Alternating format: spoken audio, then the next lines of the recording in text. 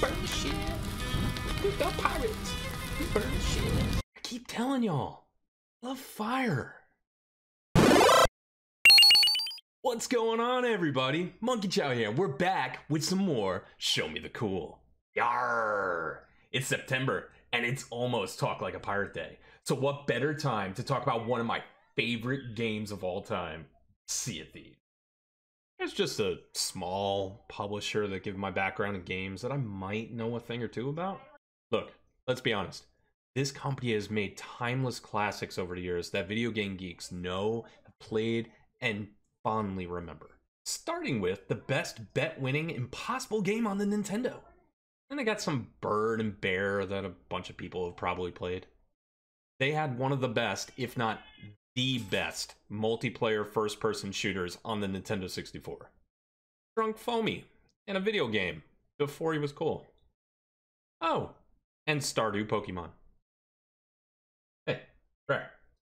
Battletoads remake? Loved it.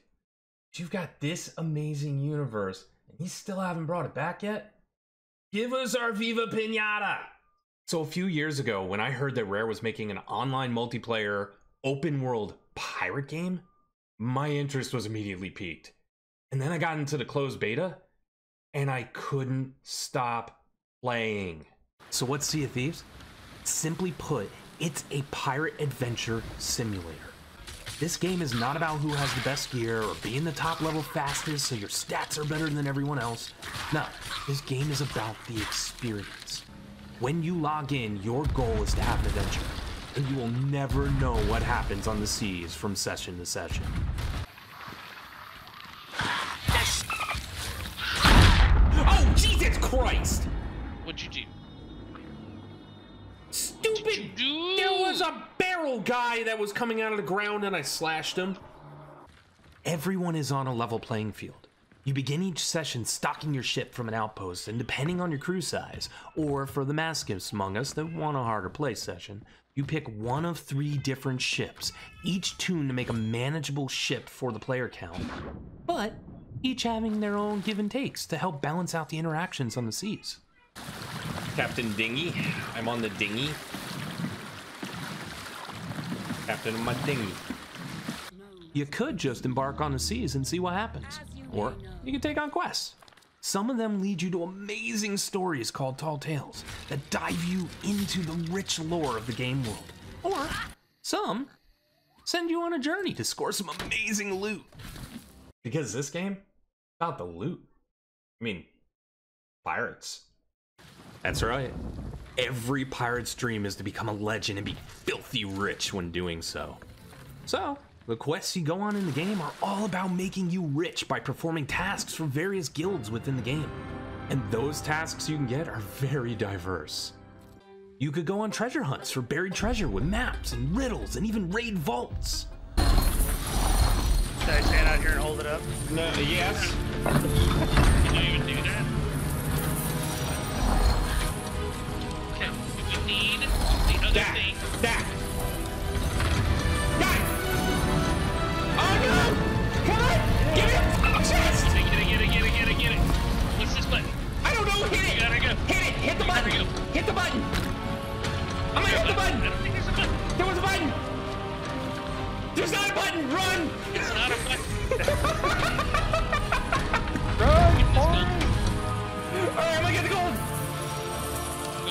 You stay there, Timmy. You stay there, Timmy. We got this.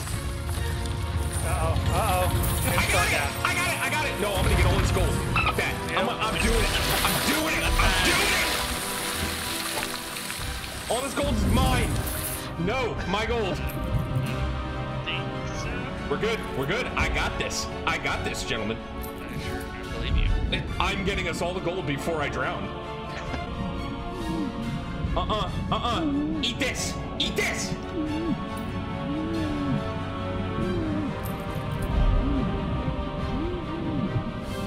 I so much gold. So much gold. Ah! You can go simpler and move goods and services for the merchants from island to island. Try your luck at fishing, hoping to never see those stupid red fish again. Cooking up a great meal to sell. Animal trafficking. It's a thing. Or rum. All pirates love rum. You shot it, you son of a!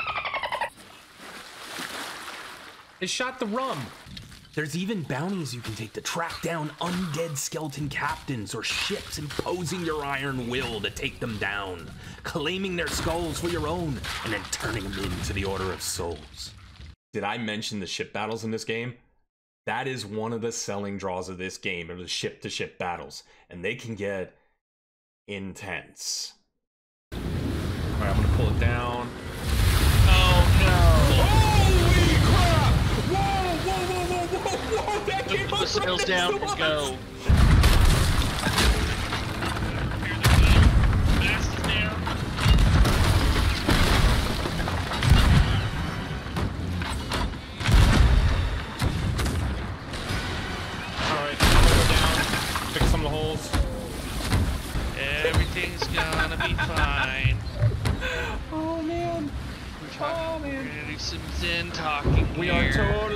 Talking. Why is the whippet not freaking out? And as any well mannered pirate will tell you, what good is all this loot if you can't look good getting it? There's a wide variety of ship cosmetics to achieve, clothing for your pirates to look the best, equipment to show your flair and feng shui, and pets to accompany you along the way. See that? That's my monkey. That. This game is seriously every role player's pirate fantasy. There's just so much to do. That way too. You want to aim it up a little bit. I do? I do. Oh no. Oh no. Okay. did you fix? Did you wily coyote it? Uh huh.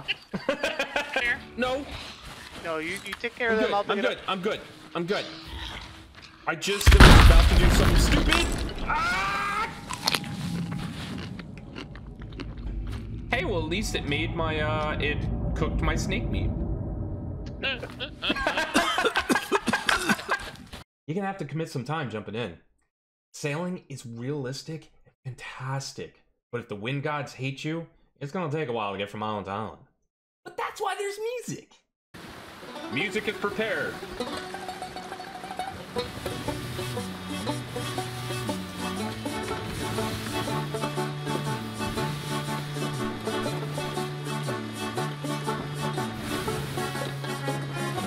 Is a perfect song for this. and the scenery is gorgeous. I swear I have never seen such beautiful water effects in a game, and there's been times that I've sat just sailing on my ship watching the sunset. This team has put thought into every aspect of the game, ensuring you're going to have an immersive experience. I mean, even the storms you run into, while you'll want to cry, some of those tears are just for how amazing it looks. I. You kidding me? You'd think that I'm done telling you everything about this game, but I'm not.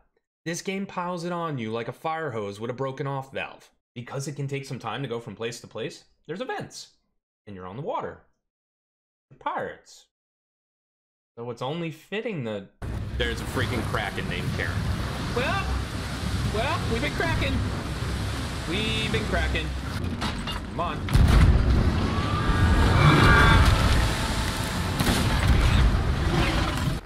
And there's Meg. Damn it, Meg. Ping me. Just go for the. Just go for the island. Go for the island.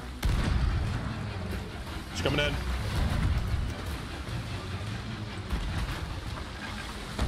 Repairing two holes. But as with all things, they give you sweet loot if you beat them. Meaning, as you continue your journey, you'll just get all the things. And that does have its downside. I like shiny. Story's my spirit animal. Yeah, you basically. More shinies! Yes! Birds, birds, birds, birds, birds. Birds, birds. On the way. What? The action? Mm, yeah. Maybe? It may be a different one than what we did last time. You're so like a fish. I am. It's like Shiny Ooh, objects. shiny. but you know what? All this wouldn't be complete if you couldn't be, well, pirates. Yeah, remember how I said everyone is out there having this adventure together? you sort of run into each other. Well, they're holding your loot on their ship for you. And there's so much I didn't even show you that's also in this game because it would take forever. There's volcanoes. Yeah, that explode, set your ship on fire, and burn you in the water. Earthquakes, geysers, snakes. There's even a competitive mode called Arena for folks that don't want to play the PvEVP mode. You can find this game on the Microsoft Store, Xbox, and Steam, complete with crossplay, and depending on your timing, it ranges anywhere from $30 to $60. Given that this is probably the top game I've sunk the most hours in, I can tell you that if this is your jam, you're getting every penny worth of value out of this game. So what are you waiting for? Go get this game. Maybe you'll discover me on the seas while we're sailing out there and I can steal your loot. Because it's mine.